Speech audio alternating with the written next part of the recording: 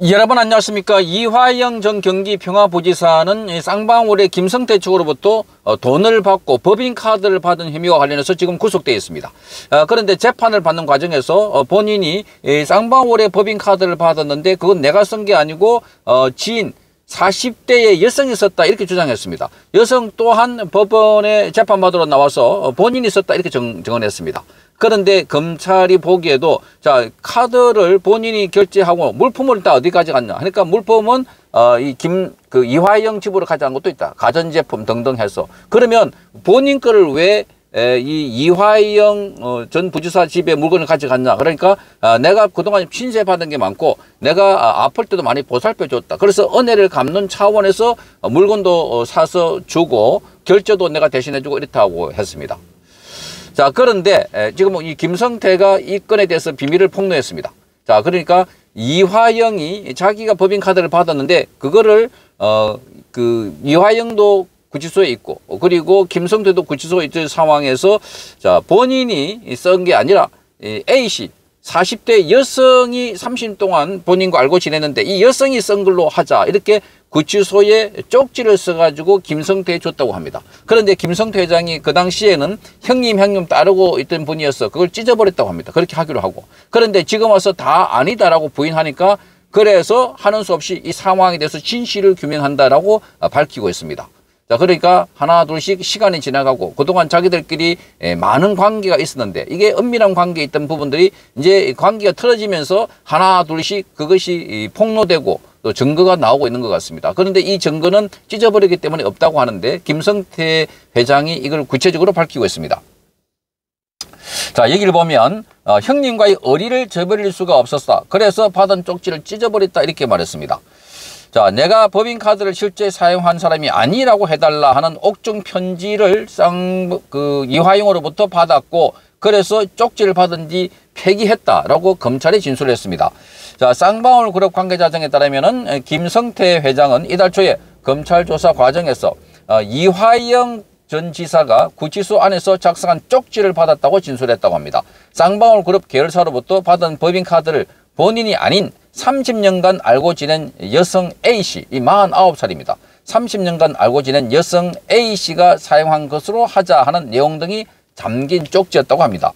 자, 이 A씨는 1990년대 초반에 국회에 비서로 근무하면서 당시 보좌관이었던 이화영 전 부지사와 인연을 맺었습니다. 자, 이광재 국회 사무총장과 안희정 전 충남, 전 충남 도지사가 2006년 이끌었던 참여정부 평가 포럼의 간사로도 활동했습니다. 그리고 문재인의 2012년 대선 캠프에도 참여한 정당인인 겁니다. 자, 검찰은 이 이화영 전 부지사의 공소장에 이화영이 2020년 9월부터 2022년 8월 달에 A씨 이름을 쌍방울 직원, 직원으로 올려놓고 급여 명목으로 7,100만 원을 받아갔고 2021년 9월 달에 쌍방울에서 A씨의 명의로 법인카드를 발급받아서 사용한 것으로 이렇게 기재했다고 합니다. 자, 김성태는 해당 쪽지를 수용 생활 도중에 어, 다른 다른 수용자를 통해서 건네받았다고 합니다. 그런데 이 수용자는 김성태에게 이렇게 말했습니다. 쌍방울 김성태 회장님이시죠? 이렇게 묻고는 어, 이화영 전 부지사가 전해달라고 했습니다. 이렇게 말했습니다. 그러면서 꼭 이 쪽지를 엄밀하게 김성태의 손에 쥐어줬다고 합니다. 자, 그래서 형집행법상 아직 형이 확정되지 않는 미결수 공범들은 분리 수용을 해야 하고 서로 접촉할 수가 없는 겁니다. 이에 따라서 쌍방울의 대북 송금 사건의 공범인 어, 이 김성태와 이화영 등은 접촉할 수가 없는 사이였습니다. 그래서 제3자가 끼어드는 걸로 보입니다. 자, 김성태의 측근 인사는 이렇게 말합니다. 자, 김성태 회장님이 이화영이 준 쪽지를 들고 고심하던 끝에 그간 의리를 지키려고 찢어서 폐기해버렸다. 자, 형님으로 따른 이화영 전 부지사가 말 맞추기를 주도했다고 흠집나는 게 내키지 않아서 없애버렸다. 대지를 조사해서 사실을 인정하지 않은 태도에 나중에 이 화가 나서 쪽지를 폐기한 사실을 검찰에 진술을 했다. 이렇게 말했습니다. 그러니까 처음에는 이화영을 보호해주고 지켜주려고 했는데 그런데 사실대로 말하지 않고 이재명을 지키기 위해서 어, 그야, 그야말로 이 김성태와 어, 20년 동안 형 동생하고 지낸 사이도 무시하고 나중에 되니까 회장님 회장님이 이렇게 말하니까 어, 그러니까 김성태가 멘붕이 된 겁니다. 아니 형 형 하면서 나하고 밥하고 술 먹고 해외 출장도 다니고 했는데 갑자기 왜 이렇게 하냐고 왜 진실을 말하지 않느냐고 이렇게 말했습니다. 자 이화영 측은 실제로 쪽지에 담긴 의도를 법정에서 그대로 표출하고 있습니다. 자 A 씨는 지난 14일 열린 이화영의 20차 공판에 검찰 측 증인으로 출석했습니다. 이렇게 말했습니다. 박용철 전 부회장에게 직접 법인 카드를 받아가지고 내가 썼다 이렇게 주장했습니다. 자 그런데 검찰이 이렇게 말했습니다. 운전도 안 하는 분이 어떻게 새벽 시간에 영종대교 주유소에서 기름을 넣었냐 이렇게 물었습니다. 그러니까 어, 이 A 씨가 자 이화영 전 부지사가 출장 갈 때 내가 따라갔을 수가 있고 그때 넣어줬을 수가 있다.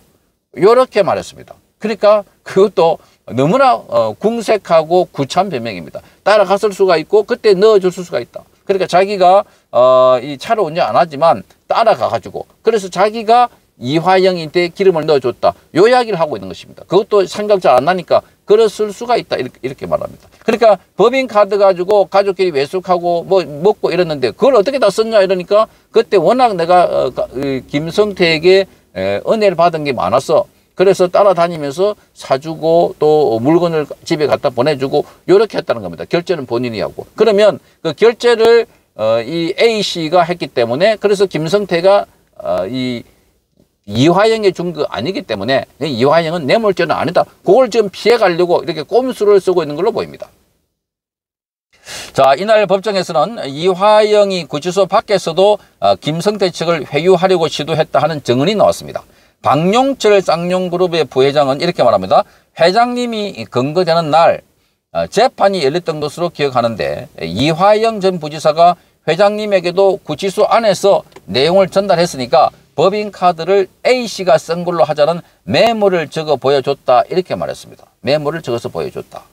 자, 그래서 박용철 부회장은 또 지인이 운영하고 있는 양복점을 이화영 전 부지사에게 소개하고 이후에 몇 번 가서 옷을 맞춰 입으면 내가 가서 결제하거나 가지고 계신 법인카드로 결제하라고 했다. 이렇게 말했습니다. 그 옷까지도 결심 결제해가지고 사줬다는 겁니다. 검찰이 그래서 이 박용철 부회장에게 물었습니다. A 씨가 법정에 나와서 자기가 양복점 결제도 했다고 했는데 맞나 이렇게 말했습니다. 법정에 나와서 양복점을 내가 결정했다. 사실이 아니다. 내가 결제해줬다. 이렇게 말하고 있습니다. 자, 그러니까 두 사람 사이에 그동안 깊은 관계가 많았기 때문에 그 기억을 하나씩 끄집어내면 자, 이화영의 에, 이 엉터리 부분, 진술을 하는 어, 거짓 부분 이런 것들이 하나둘씩 드러나고 있어서 자 그래서 지금도 어, 이렇게 김성태에게 에, 법인카드 내가 썼다 이렇게 거짓말을 해달라 요구했던 까지도 드러나고 있습니다. 자 앞으로 이런 증거들이 채정이 되면 구체적으로 법정에서도 아주 힘을 가질 것으로 보입니다.